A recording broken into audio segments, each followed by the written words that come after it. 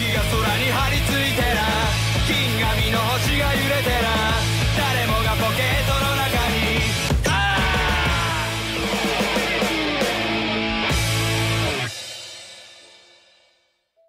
You know, you look at this title and you think, man, I'm going to get arrested for watching this.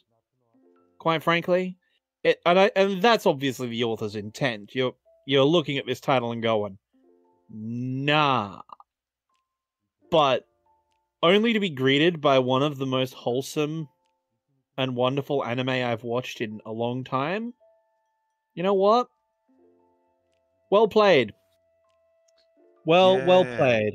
Yeah, well, it- well played. It's weird, isn't it? Because you go Yeah. in, it, it for a series that is predicated around having multiple women loving a dorky, not dorky, uh, down on his luck dude, who for once is in the workplace instead of high school. It's Yeah, a nice change up. It is a nice change up in that regard. Um, we I, I can tell at the gate we're gonna have some differences of opinions, so get excited. But for those just tuning in who weren't paying attention at the end of last episode, this week we are reviewing Higehiro. Uh, after being rejected, I shaved and took in a high school runaway, a 2021 anime from the spring season. Yep, brand new. And welcome to Anime Roulette as always. My name's Pac-Man. And I'm V. is- Yep, Ivy, V, the man, the man who is angry all of the time, who has a bit of a cough recently. Don't worry, it's not the Rona, but uh, his yeah, no, system. classic, classic me, right? Like everyone's catching the Rona, and then there's out me out here, like, yeah, I caught bronchitis again. including Yeah. me, by the way. My dad has the Rona, so if I disappear for two weeks, you'll know why. Um, although when the time this comes out, I'll probably be over the Rona or dead, so we'll see how that goes. Yeah. By the way, can we just give a shout out to the people in the comments who haven't figured out that we're recording these in like severe advance of when we release them?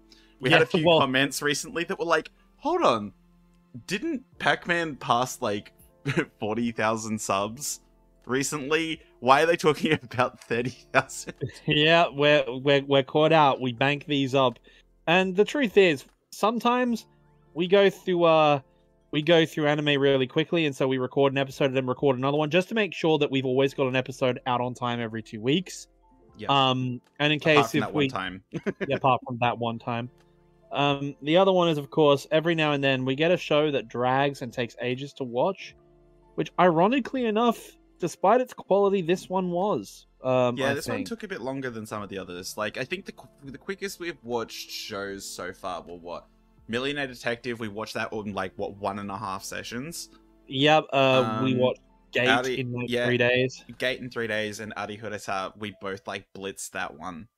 Yeah, I mean, Arifureta had this wonderful junk food popcorn quality, so I just kind of went with that, right? It was pretty damn good, but this show took a long time. So what? So like, why? Okay, so let's talk about the show. So, yep, Higehiro, I shaved and took in a teenage runaway. A, It's literally in the title. It's in the title. It's, It's, I'm so excited. We finally got a zero.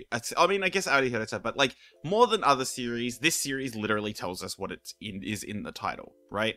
Yeah. And not only that, for the first time ever on this podcast, like we've had good shows like Samurai Champloo, but I think for the first time on this podcast, I think we've actually finally got an anime that I think is properly classed as like a great anime because pri like yeah that's kind of a spoiler for the whole discussion but on overall, like when you get Samurai Champloo, the problem is it comes with the baggage of the fact that it's by Watanabe, right? Hmm. And it's coming off the back of Cowboy Bebop, and he's just renowned for that cool music themed style and that excellent classic animation. It's a classic, so it comes with all the baggage of a classic show, right? This anime, for the first time on this podcast, we have rolled a contemporary modern anime that is great. Like actually just not just good, great. So what's it about? Well, as I said, it says exactly what it is on the tin. We have a young teenage girl named Sayu who is run away from home due to domestic issues of a, well, let's be blunt, mummy issues of the not good kind, the very shaking severely things up. bad kind, Shaking things up. With shaking things up. for once, it's not the dad being a deadbeat. This time, it's the mum being a shithead. Well, dad is a deadbeat. Dad abandoned them, but mum tried to baby trap dad. Good point. and- good point. mum mum tried to baby trap try baby trap her dad and then when it didn't work um she basically had to look after a kid she did not love and blamed for her father's divorce right very cool and normal. like behavior very here. cool nor- cool and normal behavior from mum but like honestly this is we're past 30 seconds now this is honestly one of the most fucked up backstories for any anime character i've seen in a while like we've had you know tragic murder of their parents or isekai and sent into a world where all her friends are dead or whatever we've had all these different tragedies but this one like Sayu sets the new benchmark for fucked up life Olympics, and both of us in real life can talk about the fucked up life Olympics because both of us have had pretty shit ones. Um, Yeah, relatively this is speaking. uh, this is definitely up there with uh, shitty parent things. Um, yeah, I probably wouldn't go quite as far as Pack is here, but um, it's definitely not a particularly great origin. And like as the story goes on, we slowly have it like spelled out to us what happened to Sayu and why she went to such lengths to avoid her family. Um, yeah. I mean, spoiler alert, which we've already spoiled a lot of it, but spoiler alert is the big. Well, You know this podcast by now if you're watching, but if you're a new viewer, hi, go watch the others. But hi, uh, Hi, this is a spoiler-filled review of uh, it. Obviously, if it's a podcast that goes for an hour and a half, it obviously is. But now we're going. to This consider this the official spoiler warning. The minor stuff we spoiled some of the main plot, but now the major stuff. Sayu's trauma is like on another level. She is run away from home because of her domestically abusive mother, who only gave birth to her to try and baby trap her dad, who, despite being a deadbeat in an absolute Sigma male move, did not accept the terms and conditions and just ran off with his mistress anyway. Like, if you're gonna be a piece of shit, at least own it, and he owned it, so good on him. We don't even see him in the anime. I feel like we've seen a lot of plots involving abortions recently. Like we were, I got uh packed to watch uh, Jujutsu Kaisen with me, and obviously there's the plot with the uh, cursed spirits there, Yeah. which involves like mass abortions. Um, there's also the plot here where the father tries to get the mother to abort Sayu, um, and then there was also the like uh, multimedia project that I love. Uh, Milgram also has abortions. Jap- Japan seems to have abortions on the mind in the cultural consciousness right now. And they're Um, trying to stop it because they've got a people shortage. I love it. I love it. It's not even like a moral argument, like you know, like the American, British, uh, like Australian anti-abortion lobby. It's literally, please stop. We need more people. we like it, it got to the point where um it got to the point like completely off topic, but like there was a whole bunch of like half Japanese, half Brazilian people because they got all of these highly energetic in the uh in the nocturnal activity department people to come over and all these women see these uh, very attractive brazilian young men they do their job for king and country or emperor and country and now you've got all of these mixed race japanese kids and then japan's government again being cool and normal then kicked them all out again. Truly an interesting uh behavior Oh. pattern. Um, but we can't get too off topic here, otherwise we'll never no, be but- here forever. But long story short, this is one of those cases where, like, Sayu's backstory, and then there, there's all the other stuff that comes with it. Um, she's raised in a household where nobody loves her except her big brother, and her big brother's always busy trying to live up to the family reputation because their family is very wealthy, and so mum loves him and showers all her adoration on her son, and at the same time also puts the pressure of him to carry the family forward. So Sayu gets shat on and has no social development. She doesn't have friends. She doesn't go on holidays. She doesn't have all the normal experiences that all of us got as kids, right? And then fast forward to high school, she finally makes a friend who likes her because she's really pretty and really cool. Um, but because her friend is really nerdy and awkward, they sort of form the Losers Club, as it were. Um, to steal a Stephen King reference, but they form the Losers Club uh, of party of two who are two awkward kids hanging out. But because Sayu is really attractive and really pretty, which is actually a plot point, she rejects the jocks. She rejects one of the jocks, and all the girls who like the jocks um, start bullying her friend because they can't get away with bullying Sayu because the boys all like her and they'll seem like bitches. But they can bully the awkward, nerdy girl who is friends with her. And because of that, Sayu decides, fuck that noise, because Sayu is a very good person, and challenges them and fights them and protects her, only to find out that her best friend loves her because she was so kind and, and shy and friendly to her, and that by Sayu spending all her time fighting to protect her, she feels guilty and feels like she's ruining Sayu's life, and um, commits the unalive community guidelines strike. Hello. Hmm. Um, does the Yeah. unaliving. Does a acrobatic fucking pirouette off the mortal coil, if you will. Uh, yeah, in in absolutely epic fashion with a complete tear-filled goodbye and everything. So, watching her watching her friend do the uh, do the uh, concrete tango right in front of her. Uh, so she literally watches it happen and and looks over the railing and sees it in front of her, gets traumatized, goes home, and the press is at her house because the Japanese press and paparazzi are actually ridiculous. Like ours are pretty bad, but theirs are insane. Yeah, Right. admittedly, I think that this was situ like given the context of the situation, I feel like they even like in the context of this, I absolutely have no doubt that this would happen. Like, I would not put this past someone like today tonight, right? Like, Yeah, right, a hundred percent. And like because she's the heiress and daughter to like a massive company in Hokkaido, like they live in in Sapporo area, so you know they are a big name in the north of Japan, and so everyone's there and like, hey, your daughter's been involved in a high profile unaliving incident, a self termination incident, shall we call it, at the high school. Her best friend did the unaliving. What what do you have to say about this? Can we get a comment?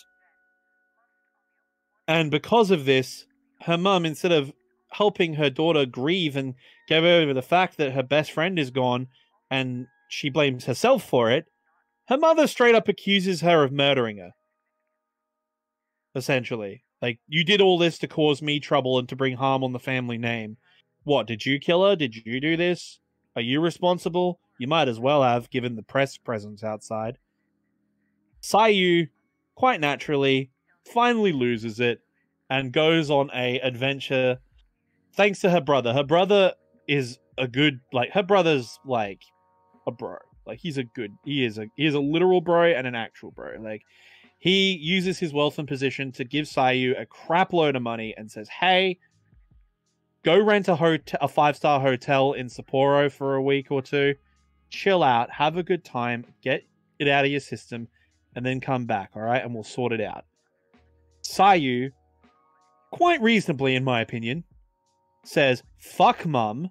Absolutely no way am I going back to that house. I'm running away and I'm making a stand.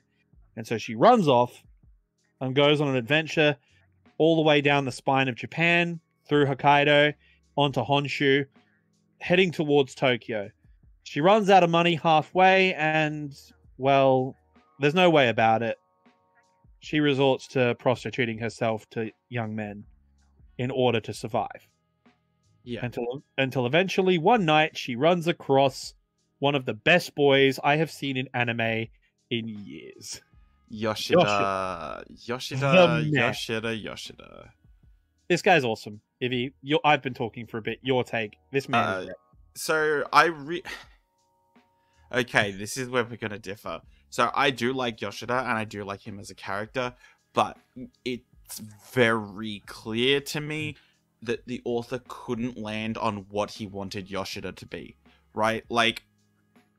The driving narrative of this story is the relationship between Sayu and Yoshida. Sometimes it's romantic, sometimes it's familial. And like the author can't seem to make up his mind about what he wants. And this is the less so than Usagi Drop right but like Yeah. this is very much territory that like for me i am like oh boy oh boy oh boy oh boy oh boy i don't and i know that pack is with me on this that we don't like yoshida and sayu as a couple Oh, I'm 100 percent no. Like, but I, I I'm going to disagree with you on that. I think because because of Sayu's situation, and it goes into this in detail, where she felt that giving boys sex in expl- in exchange for a place to stay felt like validation, and she felt required and needed. So she felt that attachment to men when she was being um well you guys know the word community guidelines um because that's what it was. It's it wasn't even a, it wasn't even prostitution. It was the the community guidelines word and it's exploitation right? Um but she felt validated and needed by that. And a lot of women do feel that way in situations even in relationships. A lot of women do feel obligated a lot of the time. And psychologically that really hurts Sayu. So I can understand I can understand where the author was going with Sayu from that because Sayu suddenly meets Yoshida and Yoshida likes older women. and he got rejected by the main what I would consider the main and only real romantic partner in the series. Boo Look. boo Look, no, I'm sorry, Goto-san is better, like peak. boo um, justice for Yuzuha boo No, no, wrong. Incorrect, Ibby. Incorrect. Team Justice. Goto all the way. justice for Yuzuha Look, uh, plucky Kohais are great. I love plucky Kohais as much as the as the next man, but they're but plucky Kohais are for are wingmen slash wing women who go out of their way to be your backup in tough spots, and she is. She's very good at that. Plucky Kohais are not the romantic interest. The romantic interests are the experienced seductive senpais and Team Goto all the way. Anyway, not the topic. Point is, Yoshida from the get go acknowledges the fact that Sayu is very attractive and that's how she's been managing to get where she is. And he is honest with her when she confronts him about the issue. She is honest with him that she finds him attractive and she also finds that sex is validating for her. And she confronts him about that. And Yoshida is very open with her and says, Look, I think you're cute. And I any man in his position, any man at all really, would find a very attractive young woman showing herself off to him, saying, Let's go at it. But at the same time, he is the bigger dude. He he knows that it would be wrong, it would be exploitative, and he's into older women and he has someone he likes anyway, and he will not take advantage of her. But I think I, I think I see what you mean about the, the criticism.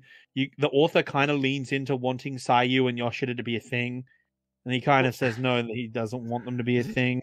I think the he best quote here I can use is from the author himself. Higehiro is a story about criminal activity, make no doubt about it. And that's what we're dealing with. Because of Yeah. the way Japan's laws work, she is not an emancipated, she is not like a minor who is like recognized as being independent, right? He is essentially engaging in, by Japanese law, kidnapping, right? That's just how Japanese law functions. And like you can get like it doesn't matter about the moralistic aspect of it, right? We're not the kind of people who are going to be like, oh well, the law says nah nah nah. Because I am fully aware there are situations where people need to get the fuck out of those. Like you need to get the fuck out and you need to run. And I completely understand Sayu's sentiment here. She is in an abusive household. Her mother is treating her and like absolute garbage, and her brother, while is being supportive, is not doing it. Uh, He is essentially only a little bit older than her, right? He's He, still he, he look. I want to modify my statement. He is a bro, but that man, the like he he acknowledges it himself at the end of the series. Yoshida got on his knees, travels all the way up to Hokkaido, goes the nth yard. Not only not only that, but looks after Sayu for almost a year. Basically, he does all of that, and her big brother doesn't do a third of what Yoshida-san does for Sayu's safety. and that uh, his biggest problem. Like this whole situation could have been avoided if Sayu's brother had stuck up for her more. Like he sticks up for a year, but he could have confronted Mum out the gate straight up. He could have taken the fight to Mum straight out the gate. He really should have, but at the same time, because of how families work in Japan and Japanese culture and his position in the family and so on, he obviously thought it was not the right thing to do. Again, even if it is incidental or accidental in this case, I've noticed that in a lot of manga, especially in this sort of area, there is a distinct anti-rich family undercurrent in anime of recent years. Um, like it really is starting to get there. But like her brother does not stick up for her the way he should, and like it, it's a big failing of his that he admits to later. But yeah, I. Man, this show is so complicated. Like my feelings here, man. Like, this isn't like, like okay. So take a show like that we've covered before. Take Yuden Chan. I outright despise Yuden Chan. Right? It is Yeah. disgusting on a moral level to me. I don't care about separating fiction from reality. On a moral level, I am disgusted by its like just basic levels, right? yeah, it's fucked. You And can't fuck. And here, I'm. It's not that I'm. Like, I don't think this is. I'm really struggling. I don't think this is necessarily like the worst or anything, and I don't think the writing is necessarily terrible. Although I have a lot to say about the writing of the cast itself, like characterization, uh, like Yeah. character writing. Um, but the core story bothers me a lot, right?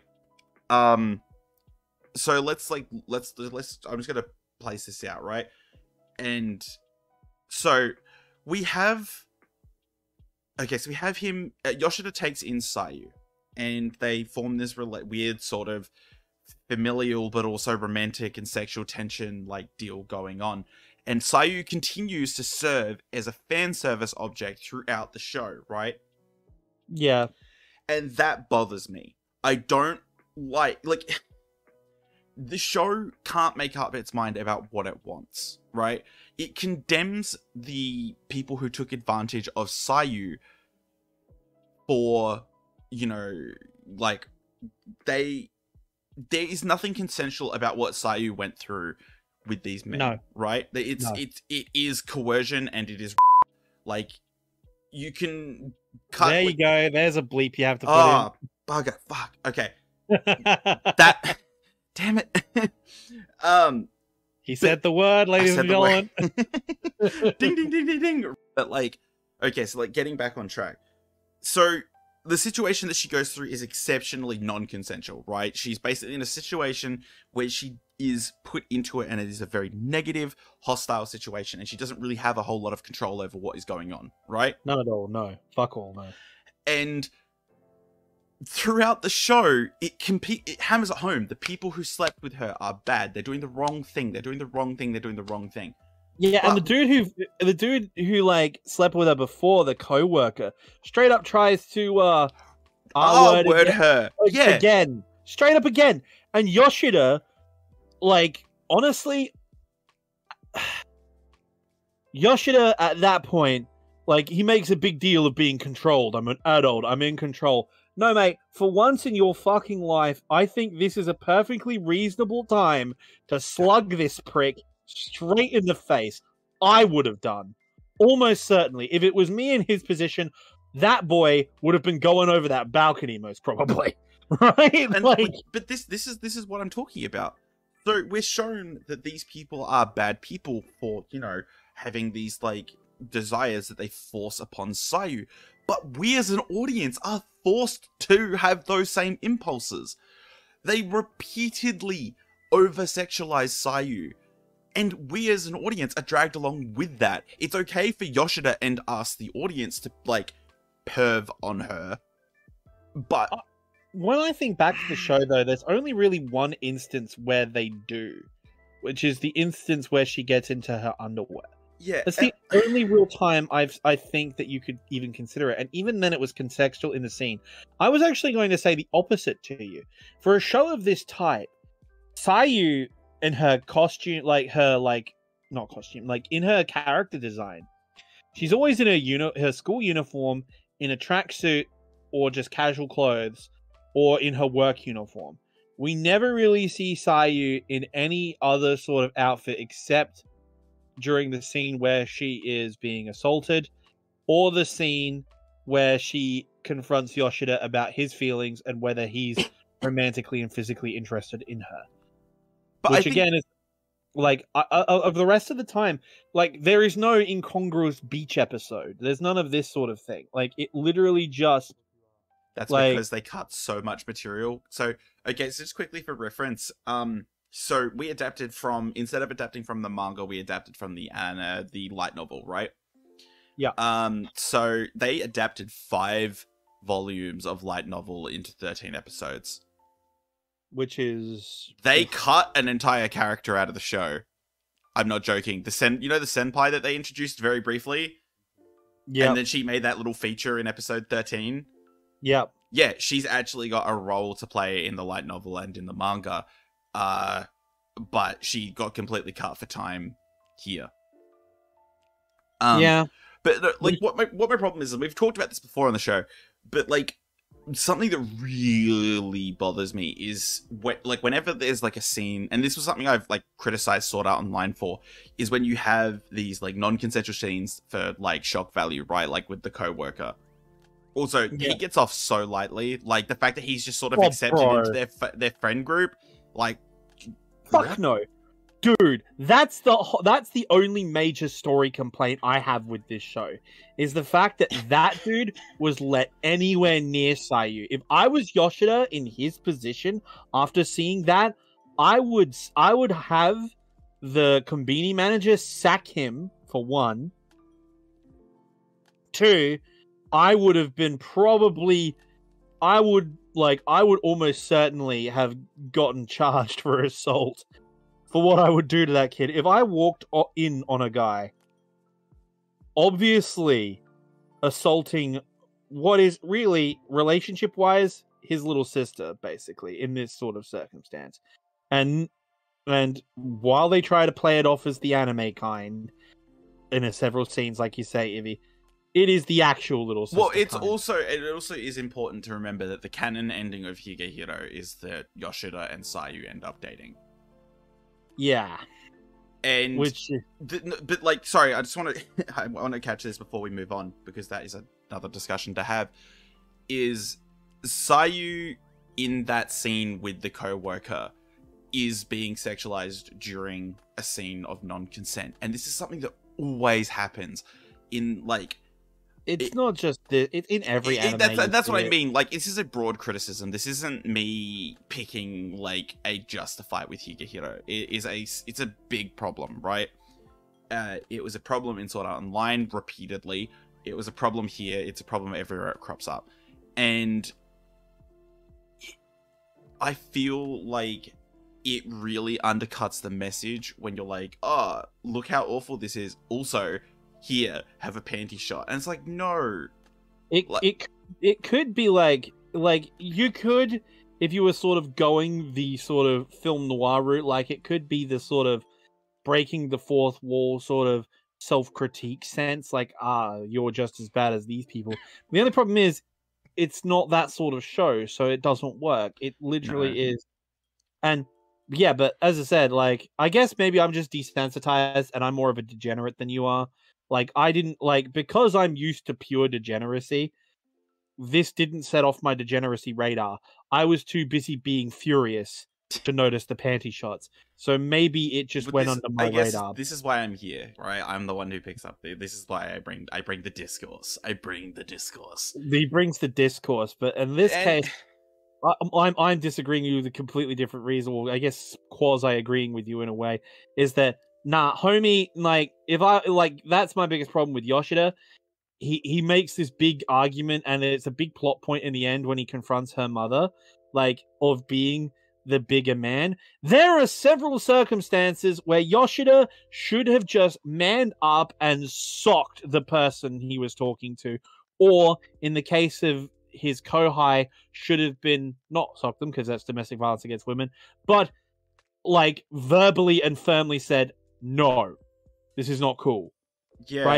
like Yoshida, uh, like it's a part of his character that he's spineless and he's indecisive. It's part of his character and played in, but it really like for a guy with that level of moral center, because the whole thing is he's so drunk, he's drunk as hell at the start, which is when he meets Sayu, and he has incredible self control and self will to go like, look, I'm not gonna. You're a kid. I'm gonna take you in because I'm a good person. Make miso soup and tuck yourself into bed and be ki- and be chill. I'm not gonna touch you. I'm not gonna hurt you. Just go and be a kid. Like that's what you're for, right? He is obviously a good person with a strong moral center. The fact that he doesn't drop kick that kid the moment he opens the door. Sayu and him have been together like in their apartment for like several months at this stage. And like they are family at this point. Like they really they are starting to become a family at this point. And the fact and the fact that the moment he sees his basically his best friend and companion and family member getting sexually assaulted by some piece of shit, he should have drop kicked that. Yep, yeah, gonna have to bleep that yeah, one. Too. that's another bleep. That's another Ah. bleep. But you, you should have drop kicked him over the balcony. Like no, like if I walked in on someone treating one of my family members like that, oh my god, Yeah. I would It- be arrested.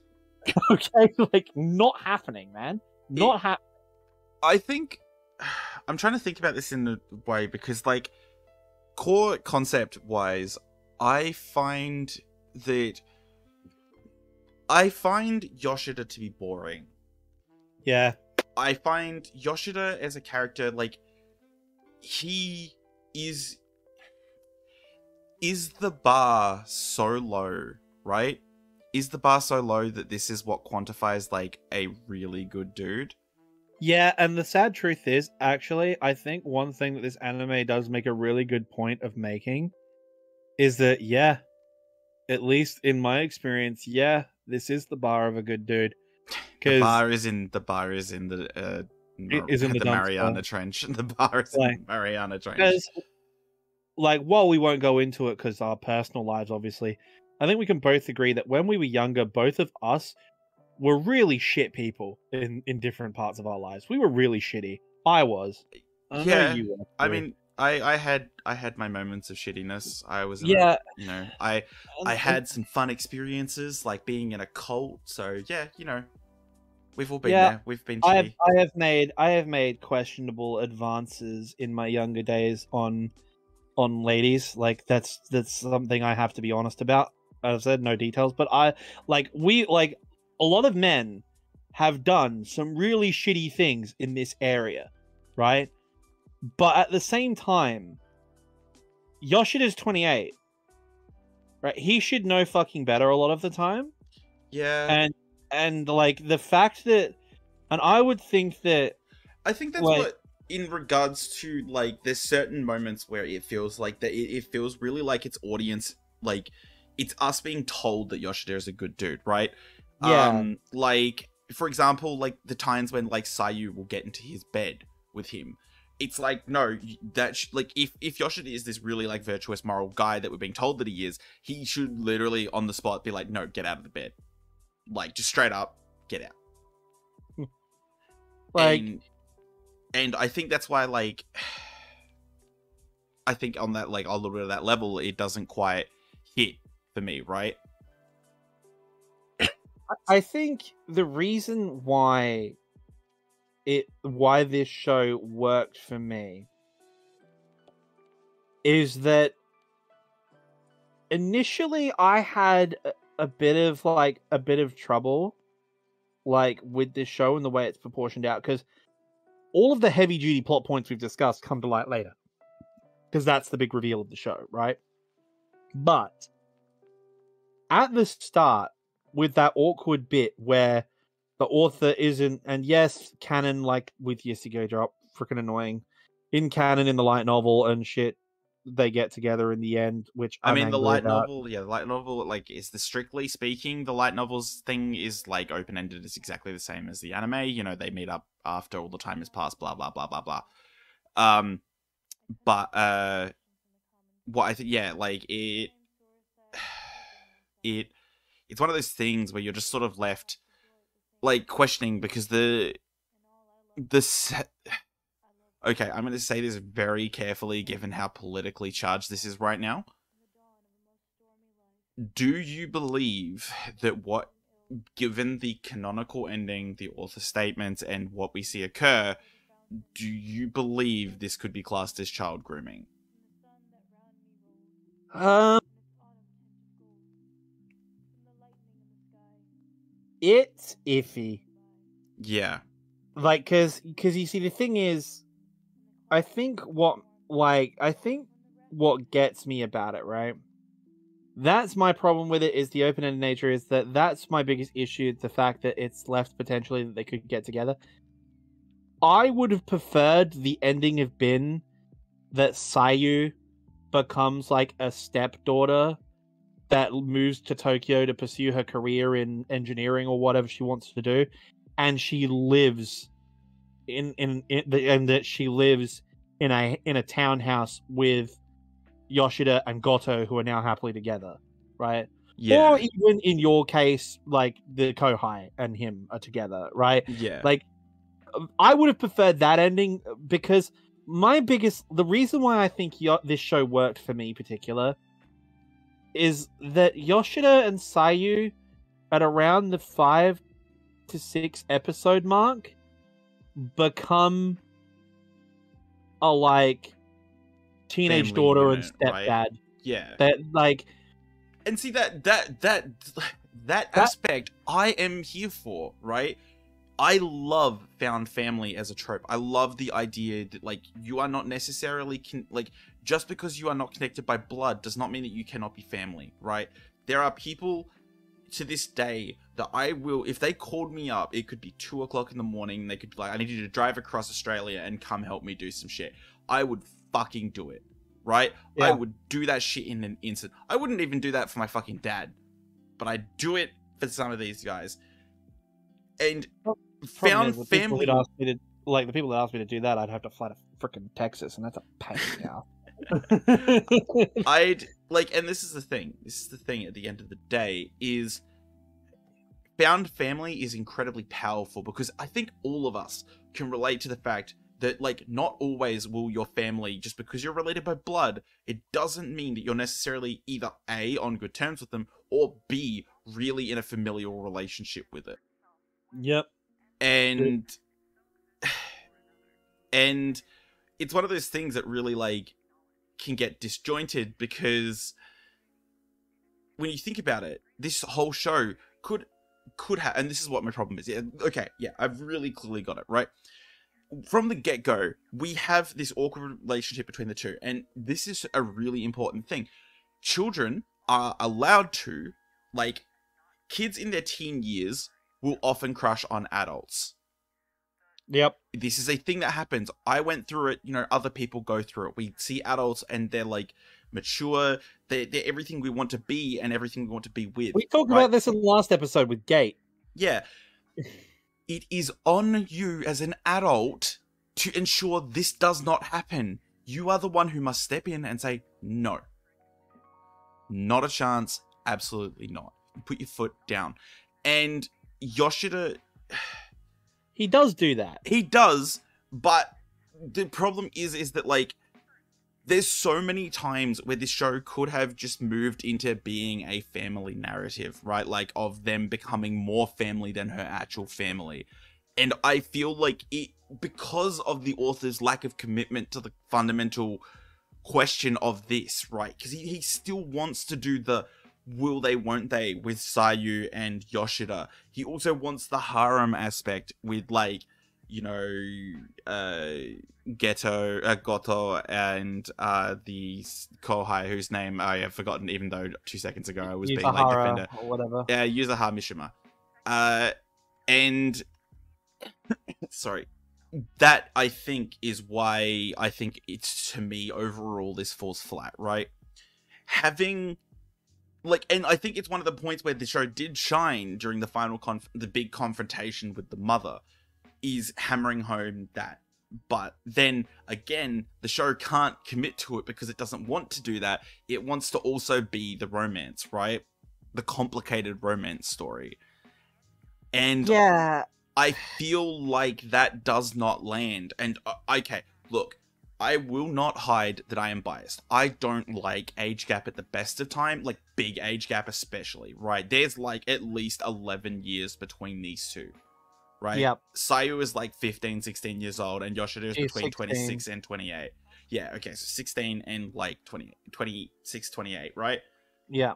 um that is a full 10 years that is a big age gap with adults right like if an 18 year old is dating a 28 year old that's a big age gap in the first place but a legal one right there's nothing there's no laws that say you can't do that that is absolutely legal but the I- I dynamic like, but, the you think about it. yeah You think about it now. Like honestly, guys in the chat, like morally questionable though it is, like if a hot eighteen-year-old model said, "Oh, you about it?" I mean, yeah, maybe. You know, in terms of like the pure physical aspect, but like in terms of relationship, could you date an eighteen-year-old? Fuck no. Hell no.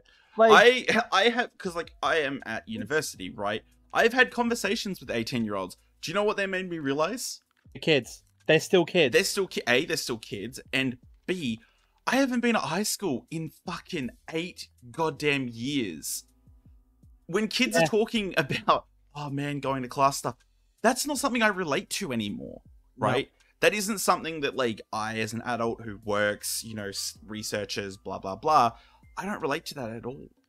And that is something that like i will and you know what? There's people who have common interests. I get it right? Like i'm not going to throw down judgment on people who are dating in age gaps apart from that one dude who dated my friend right? Fuck that guy. Yeah. Um, yeah. but my more my point is is that like these are the questions that you can deal with and that is the problem here is what interests do Sayu and Yoshida share None. Like that's that's the thing that sort of gets me. Yoshida and Sayu, the reason I enjoyed this anime as much as I did, because I did enjoy it despite my, my criticisms of it, is because while the author was a bit wishy-washy with it, at the same time, because it wasn't like overpowering like some anime are. Like Gate last week, for example, or last fortnight, where we talked about Sugawara and the little kid from the alternate universe. Um, they are a completely inappropriate couple, and like this is really problematic and all that jazz. But it's overt. It's very overtly romantic. There's no dissuading them. It's it's it's disgusting, right? I It's not. have, I have a thought-provoking question I want to ask you and I'm floating it to the audience as well here okay Yeah, go.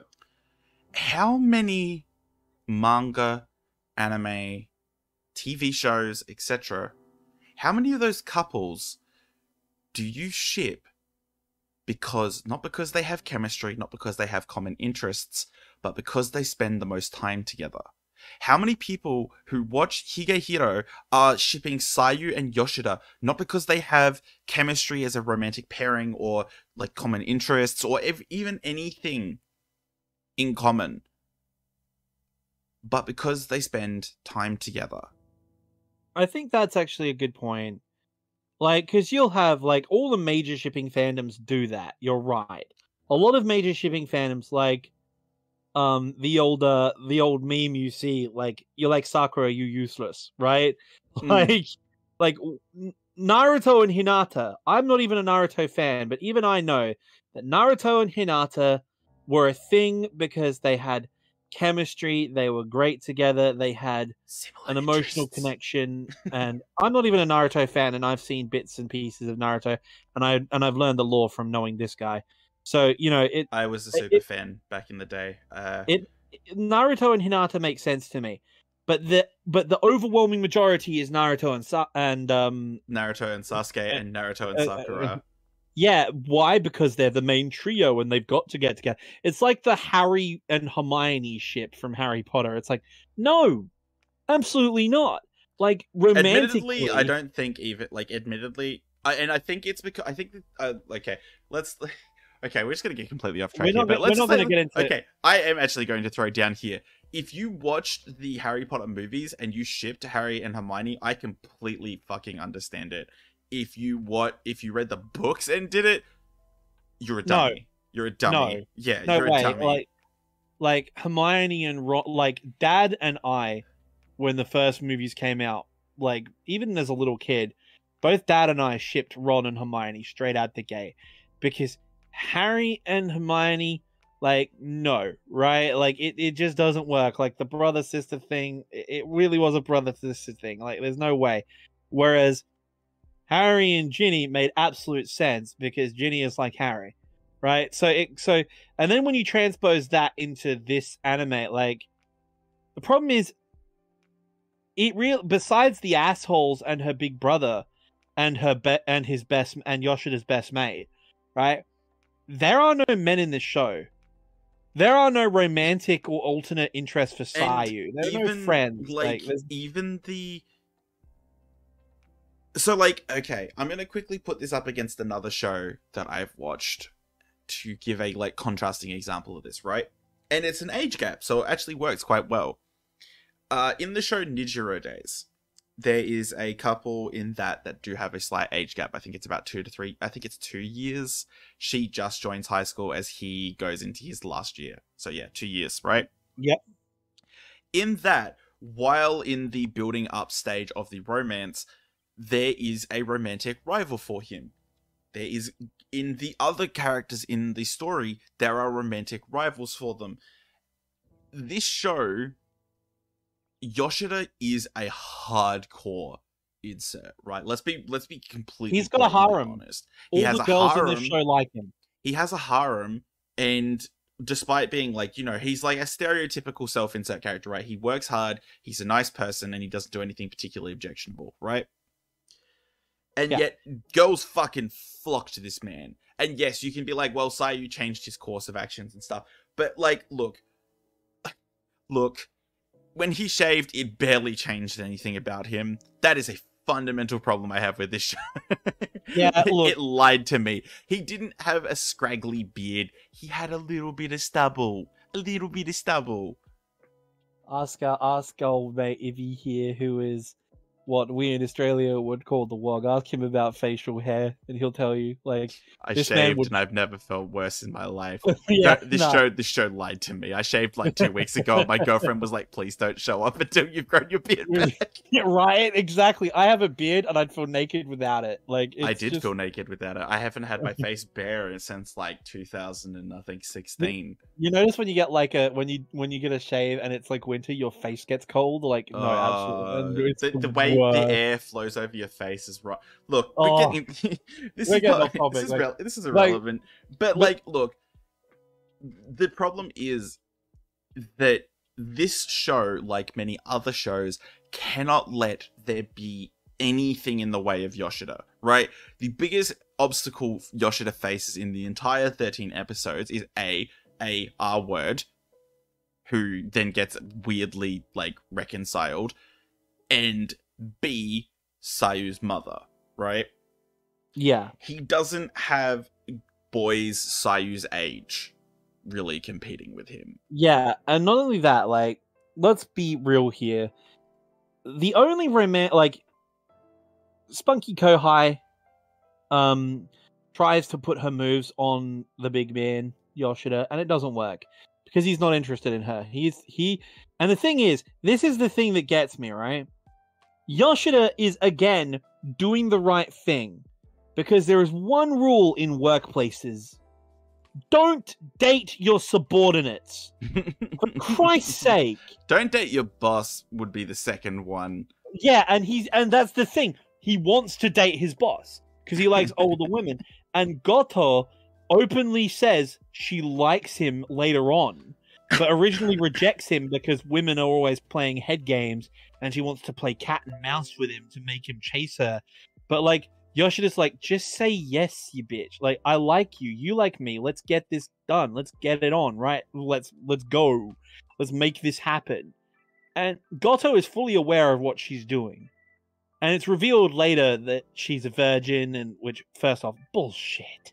Uh, like, look, look, okay, okay. I, I can believe a lot of things, but like It, it's one of those things that fucks me off fundamentally with a lot of this kind of stuff. And let's be real, it's like again, it's fan service because it's the same reason that when you play a visual novel that's like an like adult like game, they're like, oh no, they're all ver- they're all virgins. It's like that doesn't make a fucking lick of sense. No, it's very clearly implied because Sayu finds Yoshida's yearbook, and there's a really, it's a really cute scene. I love it to bits. Yeah, that- like, is- and again, that character got completely cut from the story.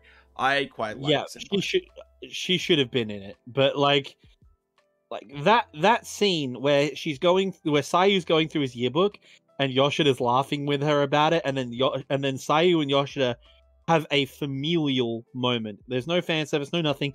They're literally little sister and big brother slash parent, right? Just giving each other shit back and forth.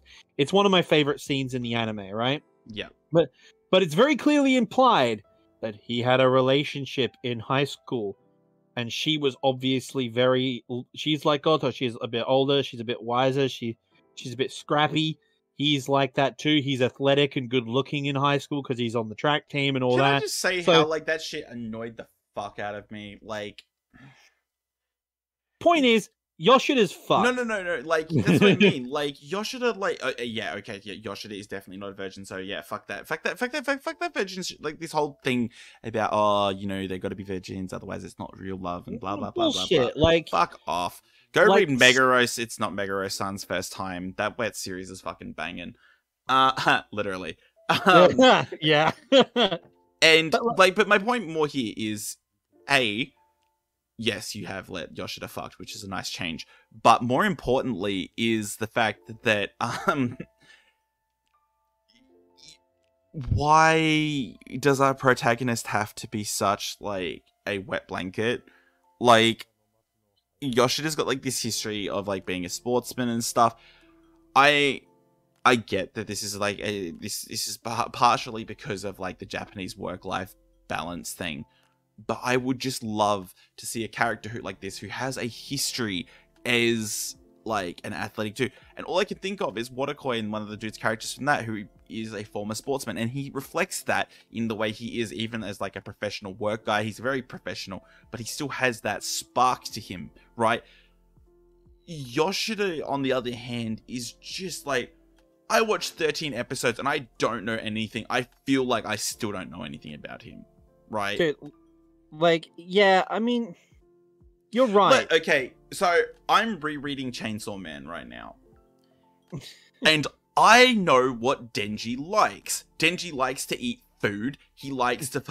And that, okay, that seems like a really minor thing, but in the context, it makes sense. Denji likes to eat food. He wants to have sex, and he wants to, you know, like be loved, right? Like he wants to actually experience these things. In contrast, here, I don't think we even get that much from like Yoshida. Like we see that like oh Sayu's changed my life, and it's like okay, she made you clean up your act a bit and get your shit together, but you're still empty in that regard, right? Like, did you find a new hobby? Did you Yeah. like do you have anything outside of this? Like with and that's like that's the thing. I think it would have made for an excellent, like, a, horrible ending to the series. Like, it would have pissed off so many people, but I would have been so down for it that, like, Yoshida just slips back into the negative, like, patterns of behavior straight after Sayu leaves and end on that note. End on show his apartment full of trash, show him just back to being a dropkick. That would have been so fucking funny. It would have killed me. Yeah, it would have been funny and it would have pissed everyone off, but that's actually one of the scenes in the anime that I absolutely adored. And I, I will talk about like that, but like what really gets me about this whole thing about Yoshida as a character is I really like him and I really like his relationship with Sayu. but it's because they're written that way. Right? It's it and I know that's a very stupid thing. Like, of course they're written that way. They're characters. But you're you're right. Yoshida doesn't feel as organic as Sayu or even Goto does. Like I find Goto being a virgin that whole point, like, oh, I was too hot, so all the boys were intimidated by me. I'm sorry, no. Like we've all met women like Goto in our lives, And like I think that I and think they have all been, they have all fucked. Like I'm and sorry. I think I think there's a more interesting narrative here because of the relationship with sex that this show has. I think it would have been really interesting to contrast a consensual, a person who consensually seeks out sex against the non-consensual aspect of Sayu's relationships, right? yeah, that's what I was hoping for with Goto because I was like, look, You know, like teaching her to have a healthy relationship with intimacy in a way that's not exploitative, right? and creepy as fuck. Yeah, exactly. And that is a that is what good writing looks like to me, right? Yeah. and I'll give him points. One of the big things I was excited for going into this show was after finding about her backstory. It made me very uncomfortable and very angry at what happened to Sayu, which is good. It's what the writing is supposed to do. But like, I really, at the same time, in a weird, obtuse, and horrible way, for lack of a better term, I really appreciated the fact that the teenage girl, the teenage runaway, runaway that he's taken in, and Sayu as a girl as a teenage girl in Japan in anime has had sex. She's not the pure uwu virgin high school girl that we see in every other anime ever. She has seen some shit. She knows a thing or two because she's seen a thing or two, right? Yeah. And she's been in this shitty situation and now she's here and she was so much more interesting because of that.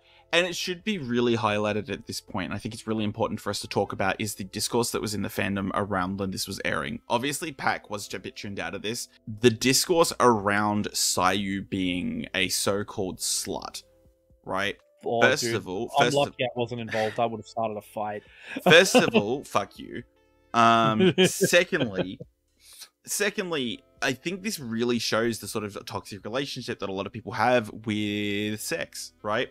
Especially Yeah. because this is clearly non-consensual. Even though I have problems with the framing and the way that we depict sex in the show and that it's often sexualized, even though it's shown as being like non-consensual. Like it's not something Sayu wants, it's something Sayu has to do to survive. And that fucks me off, but, but that's not what I'm trying to get at here.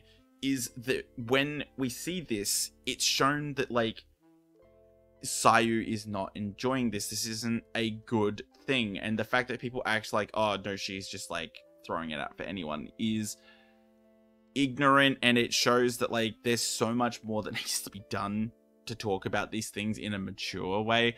And we try. We do try. We try to we try to bring you a little bit of a more mature take, even though we're both like idiots who re- regularly like fall into the gutter, right? Okay, yeah, but I'm gonna come out here. This is uh this is a filthy lefty podcast, so we're gonna say it loudly and clearly clearly, rather, for everyone who's listening. While we may not approve of it as a as a business in terms of partaking it, uh sex work is real work and you unionize and support sex workers because they are doing this to live. And so is Sayu. It doesn't invalidate her as a person, and it doesn't color her morality or her personality as a whole. Anyone who thinks that about sex workers, or even even the OnlyFans e-girl craze has happened, anyone who thinks that about them, you need to check yourself and stay in your fucking lane. And if any of you have got a problem, you can BTFO as far as I'm concerned. Like, like that's me on my soapbox here. I do not partake in the activities of these young women, but at the same time, I know a lot of them um, in my travels because I used to work in communications and I also worked in hospitality. So I knew a lot of them, and I can tell you, okay. like, they work hard. So don't you dare invalidate them or Sayu. Okay, we will fight. We will fight. So, so, oh shit. We've been going on for a while. We should probably move on because your voice is not going to last much longer. Oh man.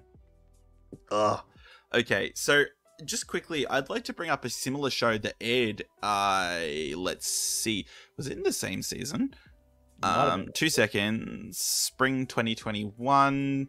Spring 2021. Yep, same season. Okay, so it's important to highlight that Higehiro wasn't the only one to air the only age gap with an adult and a teenager in that season. There was another show uh, called uh, Koi to Yobu, Yob, Koi to Yobu ni wa Kimochi Warui, which is It's Too Sick to Call This Love, or Koi Kimo.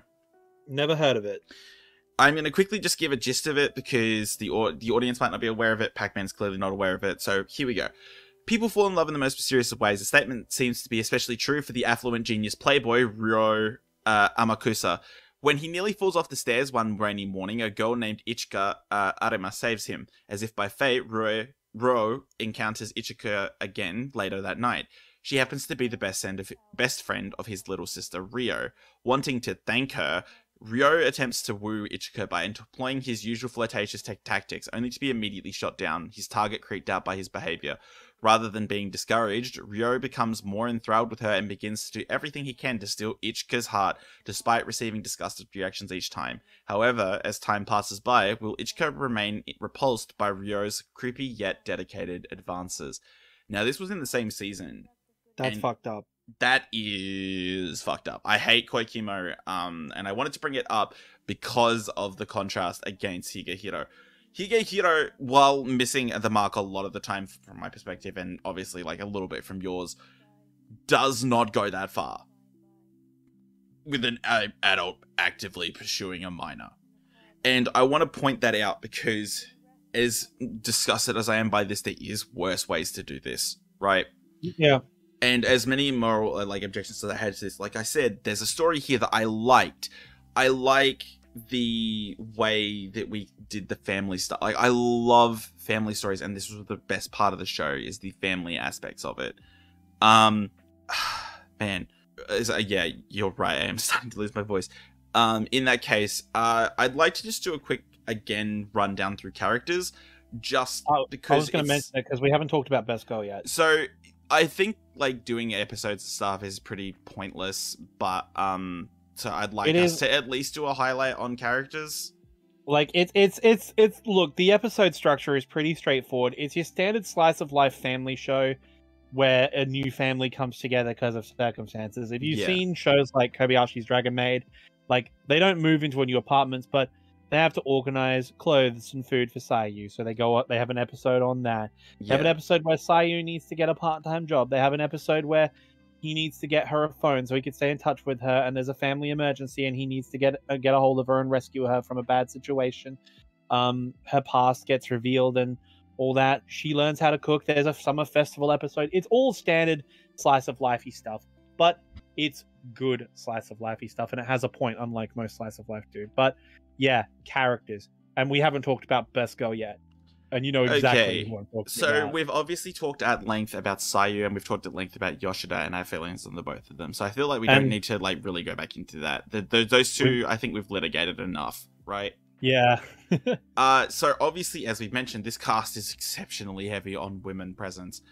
Yep. Um, so the three other supporting women in the cast are Goto Airi, uh, Mishima Yuzuha, and Yuki Asami. Uh, AKA you love Girl. you love Goto, so I'll let you take it away. Give us the explanation of the general gist of Goto's character. Goto is um excuse me, can I get the siren because it's a MILF alert. I was gonna say horny Yeah. alert, but that works too. Damn. Horny alert. Mil- Goto is wow. She is the only appropriate ship for Yoshida in this show. Okay, I thought you were gonna say the only appropriate like uh person to like fantasize about, and I was like, Yuzuha's fine. She's an adult. No, Yuzuha's fine. She's an adult too, but like honestly, no, like this is the canon ship for me purely because they both like each other. Yoshida likes her, she likes him. They've obviously got a thing going on. She's playing hard to get. When Sayu shows up and he starts cleaning up his act, she gets nervous and starts making her move, um, which leads to a dramatic moment between the two of them, which is great. I love that scene. But the moment is Goto becomes a really good friend to Sayu and looks after her and really likes Yoshida. and so I like Goto. I I wish he was the canon ship 100%, and that Sayu becomes their adopted daughter slash roommate later down the track. That's what I was going. I was hoping for. Didn't get it, but I like her dynamic. You can then you can you can like you can delude yourself enough to thinking that the true ending is him and Goto together. yeah, and that's what I'm. I'm gonna sit there with my delusion and sit and pretend. Um, I, I'm gonna play pretend. I'm gonna play but- dolls. but um, just gonna point this out. While I love her as the character, and she's my favorite of the women quotation mark, um, she's not best girl in this anime. No, she is not. Uh, but we do disagree on best girl. But okay, look, I'm gonna be blunt. The characters here are flat. Like we've covered flat Yeah. characters to death because there's a lot of them. The only But- one with real depth here is Sayu. Everyone else is And even Sayu is like she's less shallow than the other characters, but like her character is only fleshed out in like ways of like her trauma.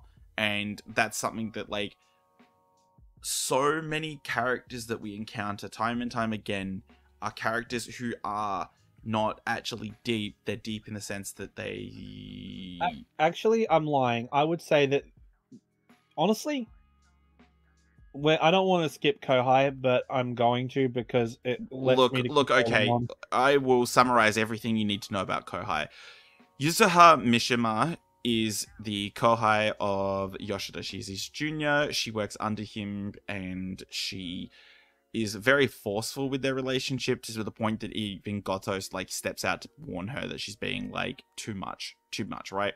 She's uncomfortable. Yeah. yeah she's pushing it. Um and i don't dislike a for a character who's like willing to fight right? Too often i see these girls who are in these sort of like you know romantic trios romantic like harems blah blah blah and all they do is sort of like wait around for the main character to notice them and nothing ever happens right? I like that she actively confesses to him right? That's a nice touch um but that's it that's all there is to her character and that's the same thing with goto like goto is she's there and the she's defined by like her breast size and that she likes Yoshida, right? There's Yeah. so uh, this uh, and this brings us to Yuki Asami, aka the senior at the uh, market, the uh, supermarket that Sayu's Sayu part time job and my official nomination for best girl of the show. Even better than Sayu. And She- what I will give Yuki Asami is her personality. Her personality is really funny. I love the slang she uses. I love the way she talks. She's a very fun character. And, And- while she doesn't have a whole lot of like character outside of it, she has a personality. And this is important because I've mentioned it before, but I'll say it again is personality can carry a character who isn't particularly given much depth. And Right. I would uh, disagree with you. Actually, I think of all the side characters, like Sayu gets depth. Um, Yoshida is kind of a good dude. That's his character. But Sayu gets depth. She gets the most depth out of the characters. Second in depth, and even then, not by a little, not by a little bit. Like it's literally microns. As you say, Sayu's depth comes from her trauma and her experience, and the fact that she's the focal point of the show.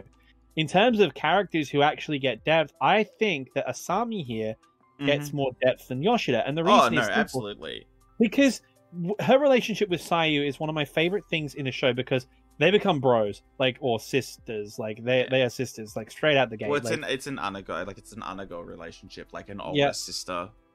Yeah, and like, but the thing is, Asami as a character, unlike all the other characters in the show, all the other characters, even Sayu, are all like, uh, it's all based around their relationship to Yoshida and their relationships in with each other and the progress of the situation. Asami is the only one of all of the characters, including the two pro tags, that actually has quote a life. She Yeah. has parents. She has parents who are distant because they work they work. So she started dressing like a gyaru to get the parents' attention. They get mad. So she starts doing her combini job as a part timer and living her life the way she wants to. She wants to be an author. She has hobbies. She has dreams. She's got things she wants to do. She does things around the place. When she's not with Sayu working at the combini, she's hanging out in different places. You know, like uh, uh, she is a person All the other people in this show are characters to drive a narrative, and while it's perfectly fine, Asami is the only one in the whole show who has who is a person who just happens to be in this story, right? She's the only one of them who's an actual person who's here to do things.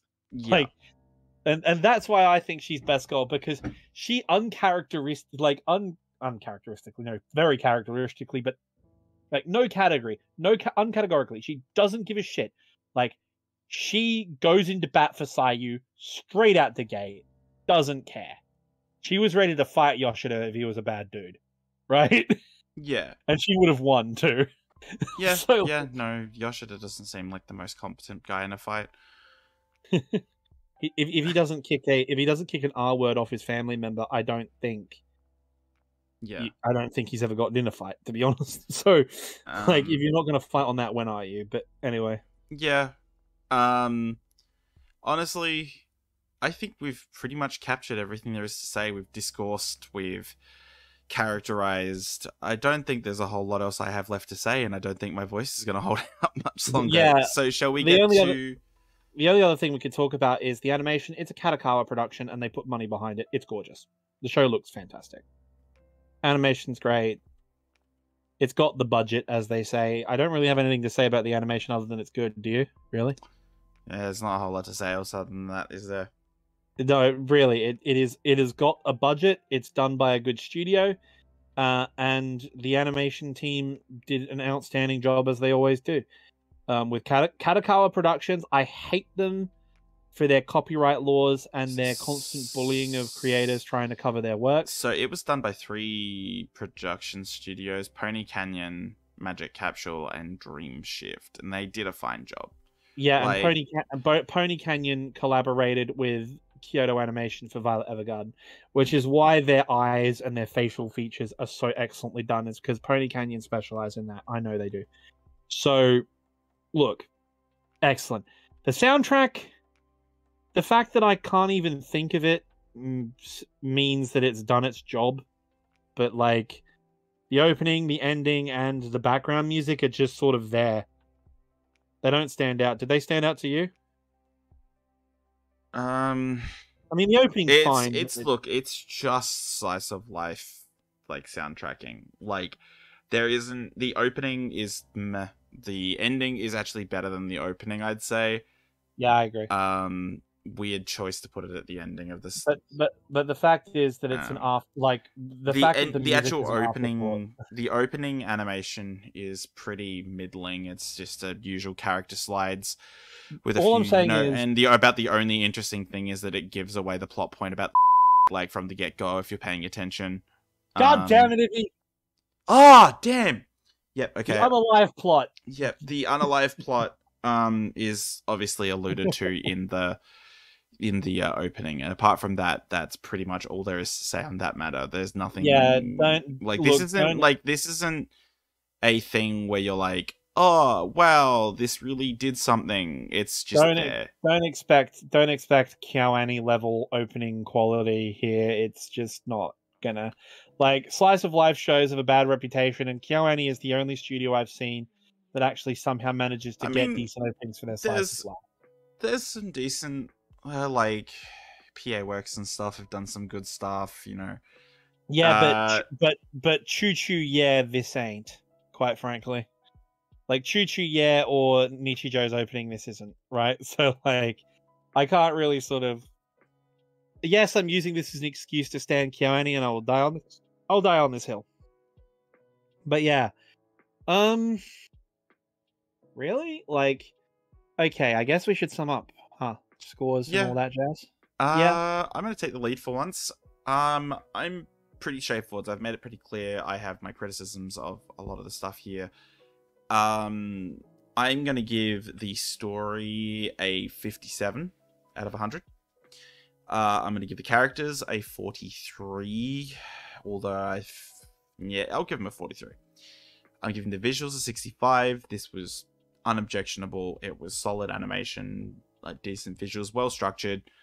Uh, and I'm giving my personal enjoyment a 41. I really struggled with this one, like especially the last few episodes. I was just like, yeah, let's get through it.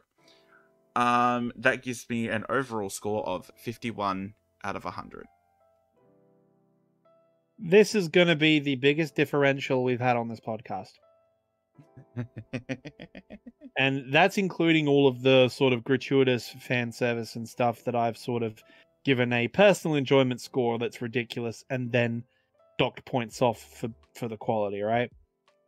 Um which I don't count those differentials because quite frankly, personal enjoyment is the big is the big factor.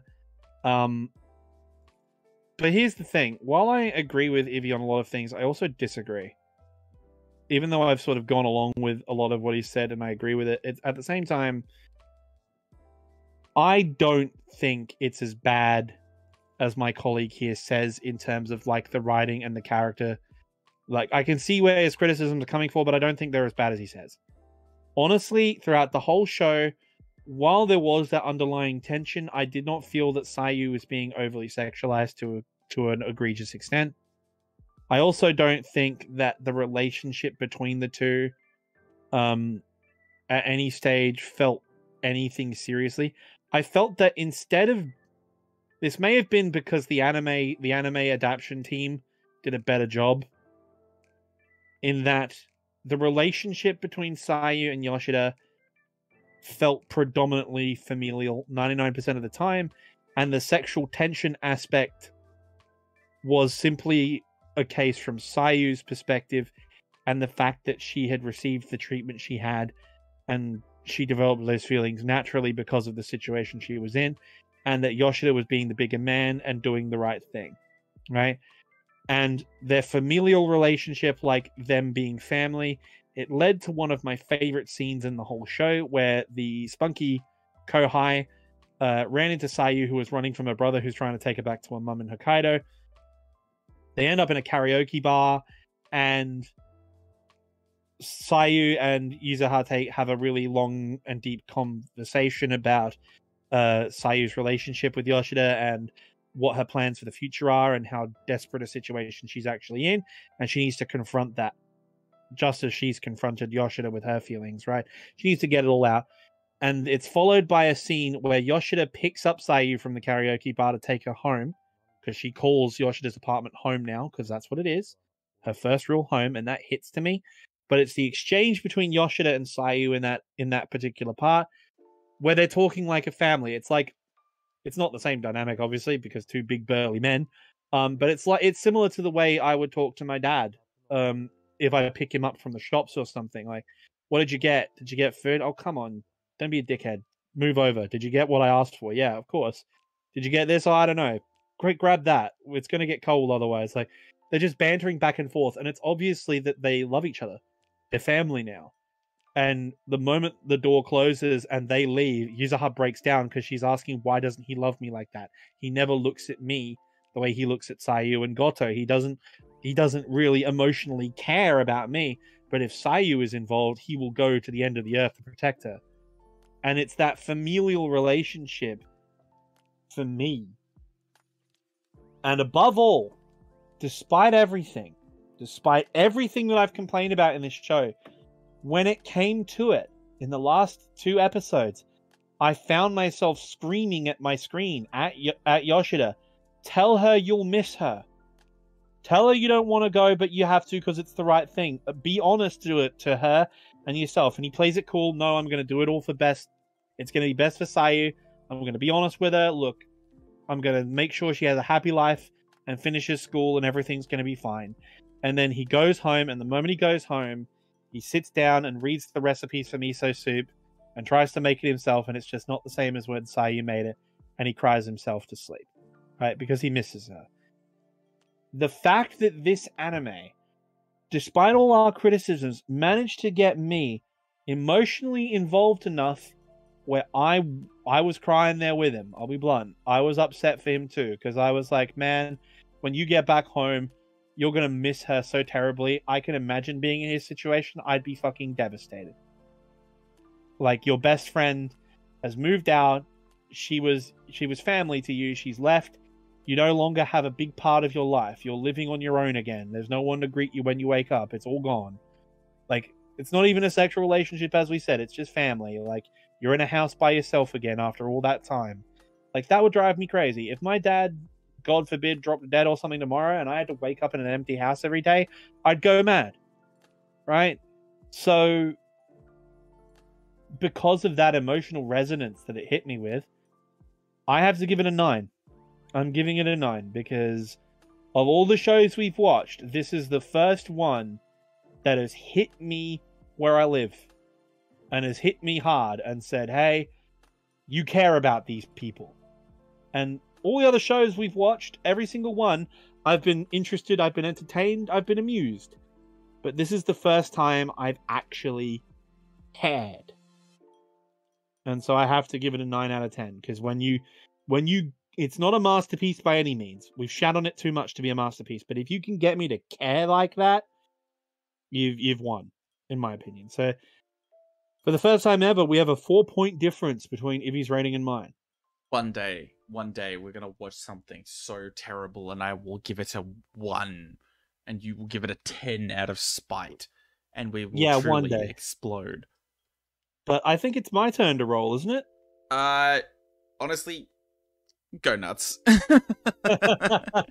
honestly, at this point, I'm not even phased about going back and forwards. I just want to roll and just see what we get next. To be honest, Yeah, I, that's one of the biggest the biggest motivator. It's what I love doing this podcast for. Is the biggest motivator for me is like every time we finish an anime, I'm like, can we finish this anime so we can roll something different?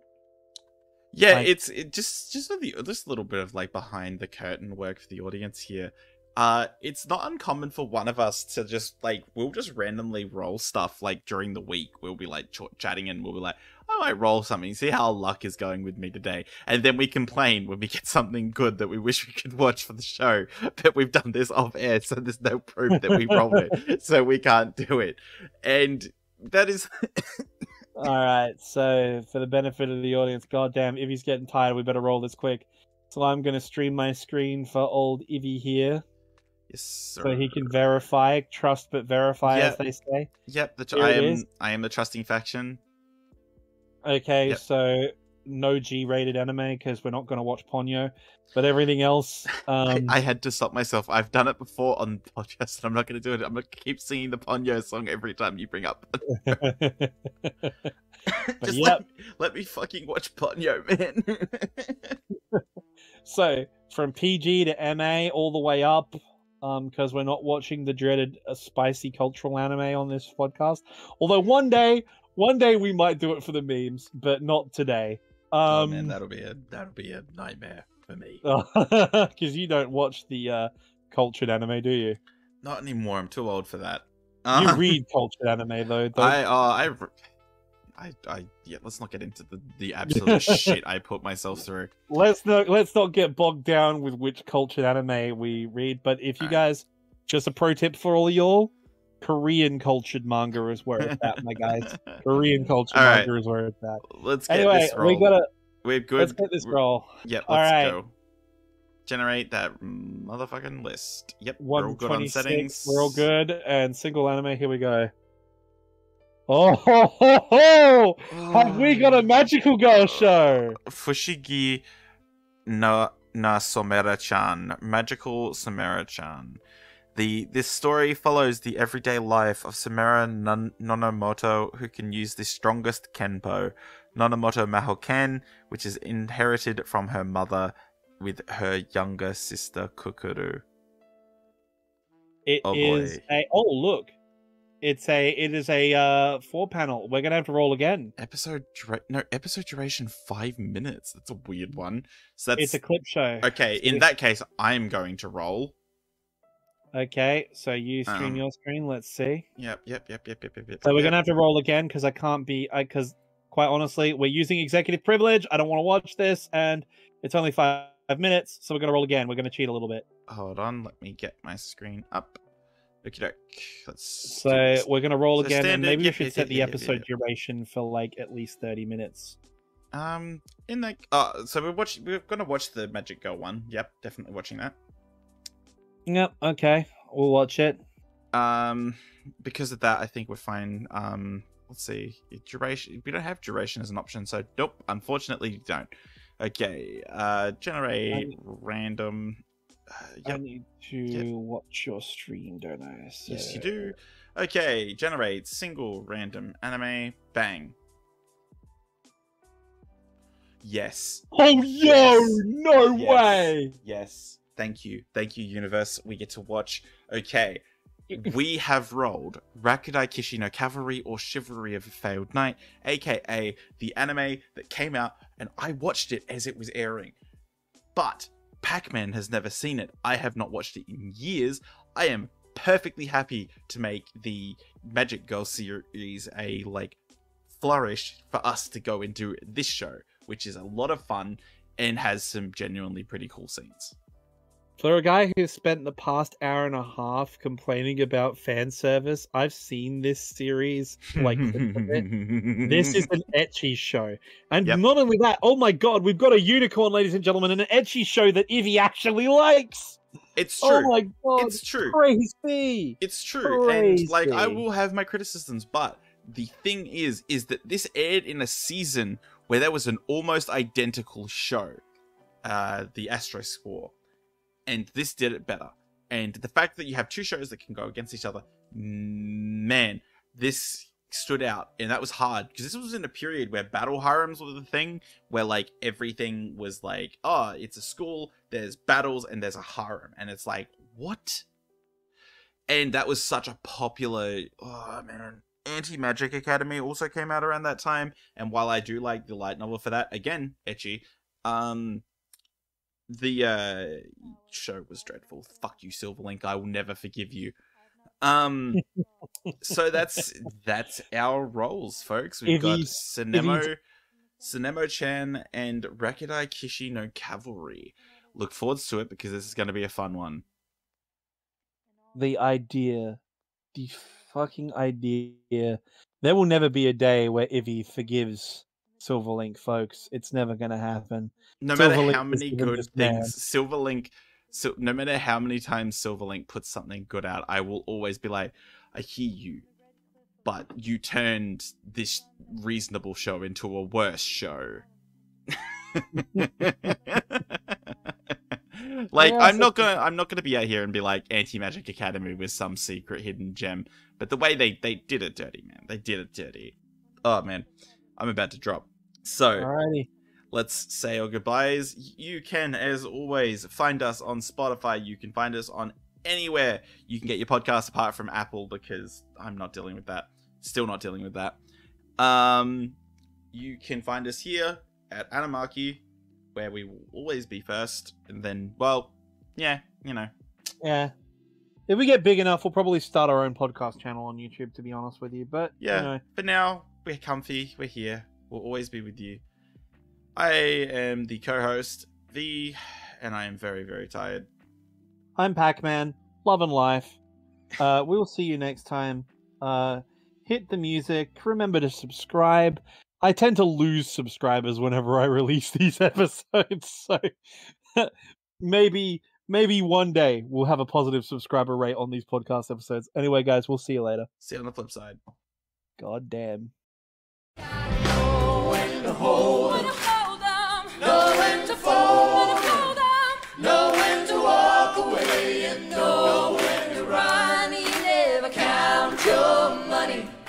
You're sitting at the table.